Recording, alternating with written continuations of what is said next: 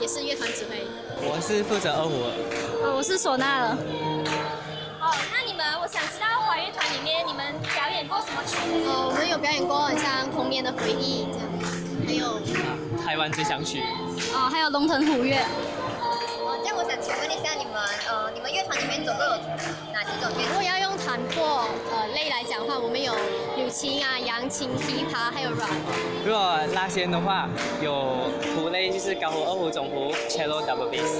然后呃，吹管就是唢呐、笙还有笛子。好的，那么可以请问一下你们你们乐团的排位法是怎样的？最外面两排会是拉弦，就是胡类啊、cello、double bass，然后这边会有弹拨，在里面也是吹管，然后就到敲击。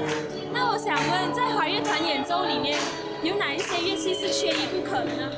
没有，都很重要的，很重要。好，谢谢你们，谢谢你们，谢谢。Salam sejahtera saya ucapkan kepada para penonton. Pipa, kuzen, erhu, sona, apakah lagi jenis alat muzik tradisional Cina yang anda tahu? Sebenarnya, seni muzik tradisional Cina adalah amat penting untuk kita. Jadi, kami akan membentangkan kajian kami terhadap seni muzik tradisional Cina dalam video ini. Pada zaman Neolitik, muzik Cina dicipta berdasarkan penemuan seruling tulang yang hanya digunakan semasa upacara keagamaan. Hal ini demikian kerana mereka mempercayai alat muzik Cina ini dapat mengelakkan bencana. Namun, pada dinasti Han, muzik tradisional Cina telah dibangunkan dengan menyunting dan mengumpul melodi dan lagu rakyat. Pada 3000 tahun dahulu, hanya kerabat diraja mempunyai hak istimewa untuk mempunyai dan mempelajari alat muzik tradisional Cina ini. Hal ini demikian kerana alat muzik tradisional ini melambangkan kuasa dan kedudukan seseorang itu. Kini, muzik tradisional Cina hanya merupakan sesuatu hiburan tetapi masih juga digunakan semasa upacara keagamaan. Seterusnya, Zuri akan meneruskan pembentangan kami ini. Terima kasih Ising. Saya akan meneruskan pembentangan kami dengan menjelaskan tiga tempo dalam perkembangan seni muzik tradisional Cina, iaitu tempo pembentukan di mana seni muzik Cina berkembang dari muzik primitif ke muzik istana. Kedua, tempo bunyi baru di mana seni muzik Cina mengalami pengaruh dari negara asing. Dan juga tempo pewarisan dan penyusunan di mana semua lapisan masyarakat dapat menonton persembahannya. Dari perspektif yang lain, perkembangan seni muzik tradisional Cina di Malaysia perlu dimulakan dengan pertubuhan orkestra Cina pada tahun 1950. Seterusnya, pemuzik di Malaysia dan Singapura pula menamakan orkestra Cina ini sebagai Huayue. Persatuan Alumni Taiping Hualien telah menubuhkan orkestra Cina pada tahun 1973. Kemudian, hubungan diplomatik antara Malaysia dengan China telah pun memperkembangkan orkestra ke Malaysia. Sekarang, Jenny akan meneruskan pembentangan kami ini. Terima kasih Ji. Sekarang saya akan terus menjelaskan jenis-jenis alat muzik tradisional masyarakat Cina kepada para penonton. Pada zaman dahulu, alat muzik tradisional masyarakat Cina diklasifikasikan kepada 8 kategori yang bernama Paying yang ditunjukkan seperti ini. Kini kita lebih sistematik mengklasifikasikan mereka kepada empat kategori, iaitu chordofon, membranofon, aerofon, dan idiofon. Yang pertama, chordofon merupakan alat muzik yang bertali seperti erhu kerana bunyinya dihasilkan melalui getaran yang digesek. Pada masa sekarang, erhu dimainkan dengan posisi duduk dan melodi yang selalu dimainkan ialah bulan di sebelah air terjun dan sebagainya. Kedua, membranofon merupakan alat muzik yang berbunyi melalui ketukan pada kulitnya seperti gendang 24 musim yang akan dijelaskan oleh Wan Jing sebentar lagi. Sekarang, Sushen akan terus menjelaskan jenis-jenis alat muzik tradisional masyarakat Cina, aerofon dan idiofon.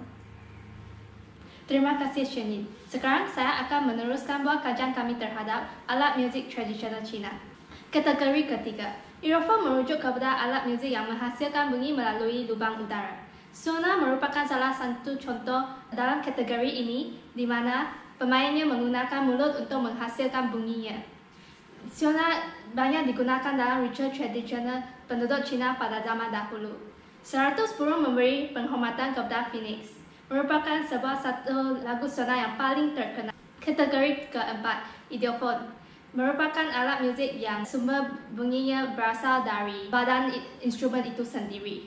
Gong merupakan salah satu instrumen idiofon kerana gong akan bergetar dan berbunyi apabila pernah memukul bahagian pertengahan mukaan lengkungnya. Disebabkan gong diperbuat daripada logam, bunyinya sangat kuat dan sering digunakan dalam opera atau drama dan digunakan untuk meningkatkan suasana. Sekarang Winnie akan meneruskan pembentangan ini. Terima kasih Shushan. Sekarang saya akan membawa tentang beberapa melodi klasik muzik Cina. Contoh yang paling terkenal termasuklah penggunaan tinggi dan air mengalir. Muzik ini mewakili persahabatan yang dihargai antara Yu Boya dan Zhong Ziqi. Melodi ini biasanya dimainkan dengan kucing dan inilah contoh muzik yang dimainkan.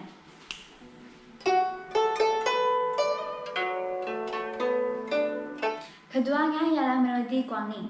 Melodi ini merupakan sesuatu muzik yang unik dan digambarkan dengan menggunakan kucing.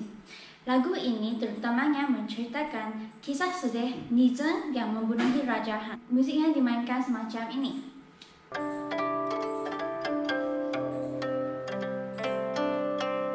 Ketiganya ialah angsa layar di atas tenang pasir.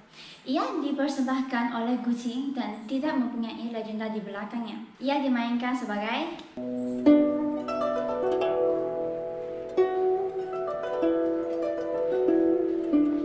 Sekarang, Ikzi akan meneruskan dengan perbezaan muzik tradisional Cina di Malaysia dan di China. Terima kasih Winnie. Seterusnya saya akan menerangkan perbezaan muzik tradisional masyarakat Cina, Malaysia dengan China. Perbezaan antara muzik tradisional Cina di Malaysia dan muzik tradisional Cina di China ialah muzik tradisional Cina di Malaysia bergabung dengan muzik barat dalam opera Manakala muzik tradisional Cina di China adalah berasal dari pengajaran Confucianisme.